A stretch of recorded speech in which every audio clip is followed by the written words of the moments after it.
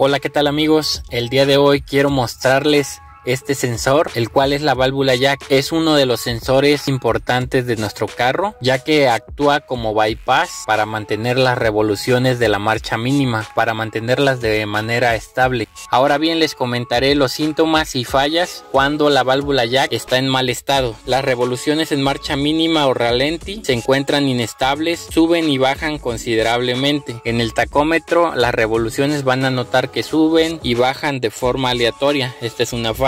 Otra falla es que las revoluciones pueden quedar aceleradas en marcha mínima o ralenti. En el tacómetro van a notar que la aguja de revoluciones queda más acelerado de lo normal. Otro síntoma es que el auto se llega a apagar cuando soltamos el acelerador en un alto. Esto es porque la válvula como tiene un daño ya no mantiene lo que es la marcha mínima y se va a apagar cuando soltemos el acelerador y estemos en alto total. Otra de las fallas que también puede causar es que esta parte que es el vástago, regularmente cuando funciona bien tiene que estar entrando y saliendo dependiendo como vayamos acelerando el vehículo. Pero regularmente cuando damos switch en on, este vástago se debe retraer un poquito. Pero en ocasiones se queda pegado por la suciedad y eso causa que tratemos de dar marcha pero el vehículo no encienda ya que no entra aire por el cuerpo de aceleración y tenemos que acelerar un poco para que se abra la mariposa del cuerpo de aceleración y pueda encender el vehículo. Otra falla más es que cuando ya la válvula ya se está calentando ya por, por uso, por tiempo de vida, puede marcar el testigo de motor en el tablero. Otro síntoma que vamos a tener es que incrementará el consumo de combustible en nuestro vehículo. Esto es debido a que las revoluciones y el motor va a estar trabajando de manera inestable con acelerones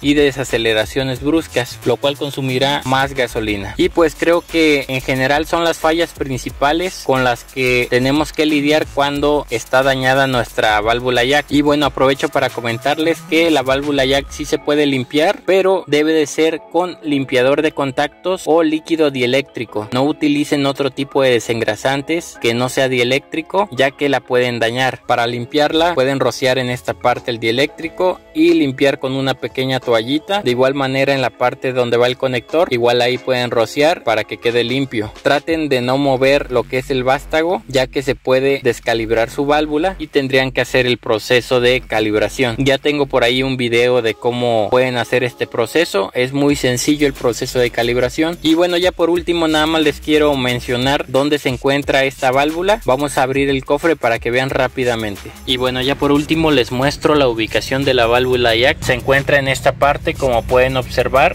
aquí acerco un poco más la cámara para que puedan ver a detalle. Va encajada en esta zona y va sujetada por dos tornillos. De momento es todo lo que les quiero mostrar por este video. Espero les sirva. Hasta la próxima